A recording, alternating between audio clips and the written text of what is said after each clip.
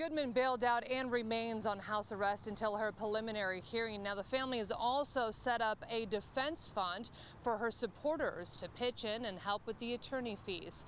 In Sherman Oaks, Melissa McCarty, CBS 2 News. Goodman bailed out and remains on house arrest until her preliminary hearing. Now, the family has also posted a defense fund for her supporters to pitch in for the attorney fees. In Sherman Oaks, Melissa McCarty, KCAL 9 News.